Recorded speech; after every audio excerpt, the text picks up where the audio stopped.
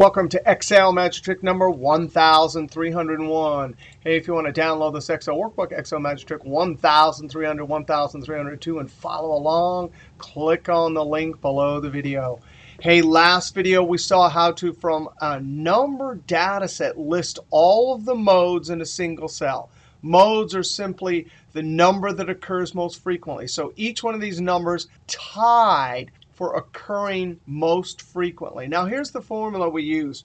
We use the mode dot multiple. If I F9, that just delivers all of the modes simultaneously. And then, of course, Excel 2016 has this amazing text join function where we listed the delimiter. And so when I hit Enter, it lists all of them. The question is, how do we sort? We want the smallest one. So we want 61, 66, and so on. Well, we're going to have to go a little crazy with an array formula here. And it all starts with mode.mult, so I'm going to copy that and come down here.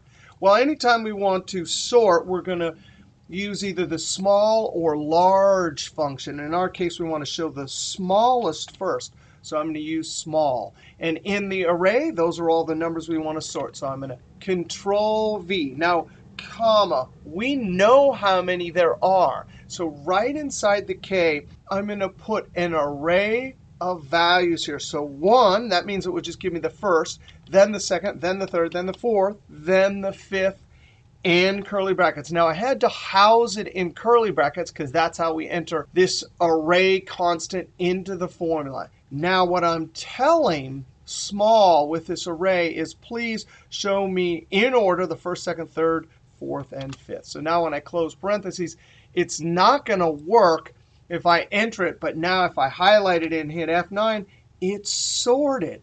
Control Z. Ah, but that is not dynamic.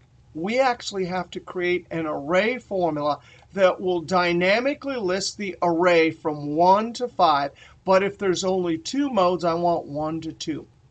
I'm going to copy this mode because we're going to have to use that. That tells us how many modes there are, Control C. And let's see if we can do this down here. Equals, well, first I have to count. And since they're numbers, we're using count and not counta. Now, this is an array function. And because it's inside of another function, we do not have to use Control-Shift-Enter. So we know that there are 5. If I come up here and type 77, we know that there's only one mode now, so it shows one. So that count is dynamic. Control Z. I want to create that array, right? So I'm going to, in double quotes, put 1 colon, end double quotes, and join it. Now, this is strange. This is actually going to be text row reference. If I hit F9, it says row 1 to 5. Control Z. That reference is going to get us to an array of 1 to 5. But now, because that's text, I have to use the indirect function to go from reference that's listed as text back to a reference. Now, I can't highlight this and hit F9 because between row 1 and 5, there are way more than 8,000 cells. So we cannot actually evaluate it. But no problem. If I have all those cells from row 1 to 5, I can simply wrap the row function around it. Row will just look through any reference and tell us how many rows there are. Well, we already know how many rows there are between 1 and 5. 5. So now if I highlight this and hit F9, that is what we're after. And it's dynamic. Control Z, if I hit Enter and type a 77 here, if I come down here and I have to evaluate it because it's an array of values. But now if I hit F9, it reports 1. So that, Control Z, is totally dynamic at creating an array of sequential numbers. Now I'm going to Control C because I need to copy that. And I'm going to come up here, Control Z, to get back to the 29. Now I can come up here and inside the k argument right here, I can simply click on the k, control v, and that whole thing is going to be dynamic. Now if I highlight this and hit F9, there it is, our sorted list. Now we're going to have to put that whole thing inside of text join.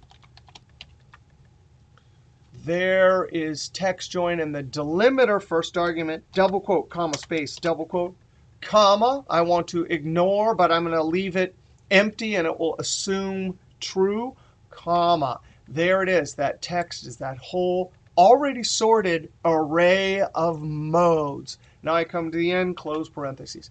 Now this has got a bunch of array operations in it. So it requires the keystroke Control Shift and Enter. As soon as you use Control Shift Enter, you have to look up to the formula bar and verify that the curly brackets are put in. When I use Control Shift Enter, that's me telling Excel to calculate this as an array formula. Those curly brackets are Excel telling you that it understood. Now, we could actually take this one step further. Notice that inside of text join, that's an array of items. If we wanted to avoid having to use Control Shift Enter, there are some functions that can handle this array operation without using that special keystroke. And the index function is one of those. So if we take index and put that entire small mode row indirect count mode dot mult into the array argument, we don't have to use Control Shift Enter. That array argument there is actually programmed to handle array operations without Control Shift Enter.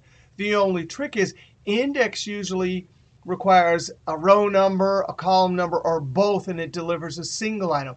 But we want all the items. So check this out. I come to the end.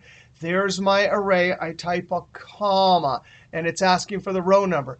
If I leave that empty or put a 0, it tells index to deliver all the values. So that's what we're going to do. All we're doing here is using index and a 0 in row number to avoid Control Shift Enter. So when I hit Enter, no problem. It lists it perfectly. If I look up into the formula bar, no curly brackets. Either way you like it, with the index or without, that formula is amazing for delivering a sorted list of modes in a single cell. All right, next video, actually, 1302, we'll actually see how to list all the modes, but they won't be numbers. They'll be text items. All right, we'll see you next video.